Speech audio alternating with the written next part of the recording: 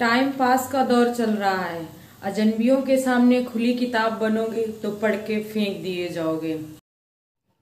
सभी बेटियों के लिए दो लाइंस हैं कि जब वो अपने मम्मी पापा यानी माँ बाप के घर में होती हैं तो वो पराई कह के जानी जाती हैं कि ये पराया धन है, पराए घर में जाना है। और जब ये ससुराल आती हैं तो लोग बोलते हैं, पराए घर से आई है, पराए, पराया धन है। तो बताइए, क्या बेटी होना गुनाह है? जब सब कहीं अपना कुछ है नहीं नहीं, अपने नाम से जानी ही नहीं जाती। माँ बाप के घर में माँ बाप के नाम से और ससुराल में पति के नाम से जानी जाती है। काश ज़िंदगी की परेशानी भी स्टेटस की तरह होती। चौबीस घंटे बाद वो अपने आप खुद ही खुद रिमूव हो जाती।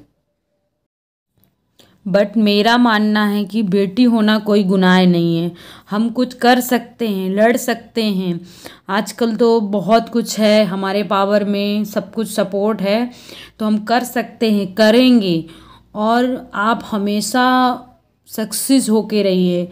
क्योंकि सेल्फ डिपेंड होना एक बहुत बड़ी बात होती है। आप जो सोचिए वो करिए ज़रूर।